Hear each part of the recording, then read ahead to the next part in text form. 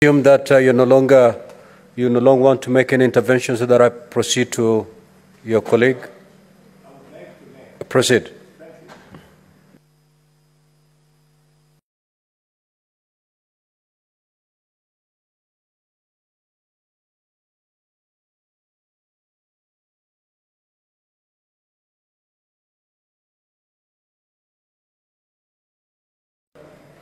Ah, there it comes. Mr. Speaker, in 1976, a few passengers, Israeli nationals, were kidnapped and they landed in Entebbe. And the government of Israel, because of the meaning of a life of an Israeli, came to Israel with the be- came to Entebbe with the best of their best, led by Jonathan Yoni, because an Israel life matters. I had thought, Mr. Speaker, because of Corona, COVID 19, Kenyans would appreciate the role of doctors in our lives. I have watched in this country I've listened in this parliament, including this afternoon, people, our colleagues, attempting to use this opportunity to attack doctors. Be careful. Doctors are just as Kenyans as we are. We cannot, Mr. Speaker, punish them for being amongst the finest in the country. The same doctors you are vilifying, Senator Cherargei, where were you in your primary school when your classmate beat you and qualified with better grades to become a doctor and you couldn't? Mr. Speaker, I request the Senator of Nandi to be apologetic. In fact, it's a privilege to him that we have introduced a system of adult education, Kumbaru, in degrees.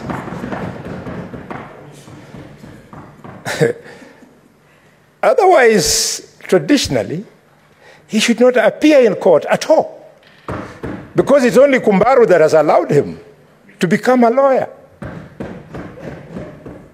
He should be told the people he's berating are the same ones who got an A in maths, an A in physics, an A in chemistry, an A in everything when he was struggling with C minus, C, those kind of things.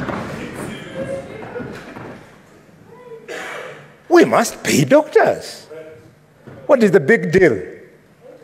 And What's your point of order, Senator Mandago? Honorable Speaker, understanding order 105 statement of fact, I don't dispute that doctors require A's in grades to qualify, but can the Senator for Kakamega prove that Senator Cherargei had C minuses and C? Can he provide evidence or withdraw and apologize? Mr. Speaker, if it pleases the senator of uh, I have withdrawn. But withdrawing does not change the fact. It simply means that the fact has been removed on the menu. Mr. Speaker, I don't know. I, I'm very disturbed when I hear a lot of voices on the minority side pushing the correct agenda and the majority on the on the majority side defending the wrong agenda. I wonder who told members of parliament that you were elected to come to parliament so as to support the government even when in its policy the government is wrong. Who told you? It is our responsibility on the majority side, on the minority side, to critically critique government policy so that we make it better. Mr. Speaker, if we do not correct the problem of these doctors, do you know it can go on for the whole year? For your information, colleagues, your child who tonight will have an asthmatic attack, God forbid, is not going to be treated by anybody else other than the medical interns at the private hospitals. Because we senior doctors do not go on call. The younger doctors, the ones you're calling, inter- I mean, uh, unqualified people, they are the ones who are on the first line. They are on call throughout the night, so they moonlight. They go for locum in private practice so as to make up. These guys can remain on this strike for one year because when they are on, on locum, they are paid better. Number two, the principle of perpetual succession. The CBA that was negotiated between the doctors those years before was between the doctors and the minister of that time. I think it was Mutahi Kagwe or somebody. So, what Mutahi Kagwe and his fellow cabinet agreed is as binding as the one that Nakhumicha will agree with the doctors. And I want to appeal to Nakhumicha. Nakhumicha, relax. you are our kid sister. Relax completely. I told you, you were in Ikolomani a few months ago, and you said you're going to close Iguhu Hospital because you found the mortuary. Oh, you're not going to close, you're going to demote it from level four to some other level because the mortuary service and ambulance service was having a problem. That is not your role, Minister. Your role is to correct, to improve where it is not working. I want to appeal to my sister and tell her that when your day will come, you will be alone. Ask Linturi. Today, Linturi is facing the music alone. Accountability is an individual issue. Go all out of your way, Minister, and help the government to fix the problem of doctors returning on duty. And it's not difficult. I hear, uh, where, where is I, the chairman of uh, finance committee is not here. But I think it is, they, they're looking for 4.9 billion shillings.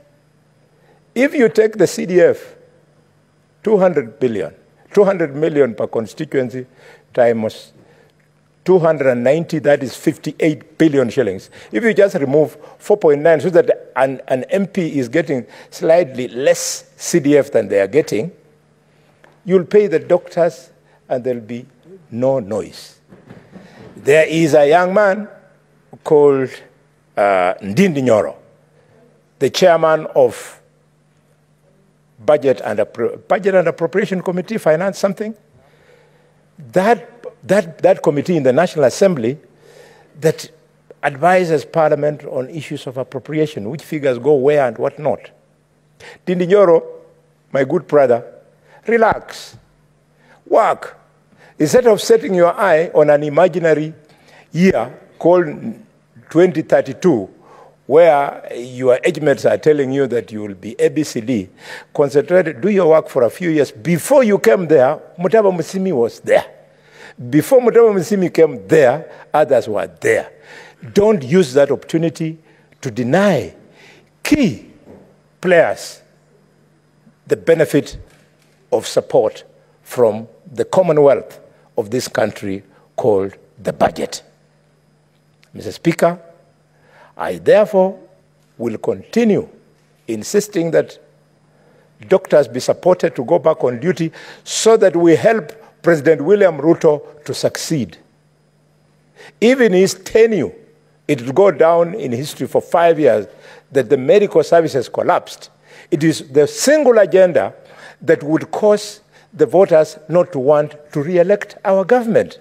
So, those of us who are supporting that agenda of doctors be paid, we are the ones who are helping the president to get re-elected in 2027. There is no shortcut. It's a question of calling people to the polling station.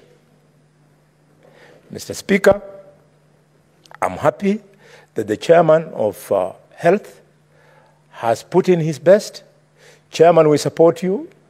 I know how limited your input can be if you don't enjoy the powers of the cabinet, but that does not mean that we shall give up.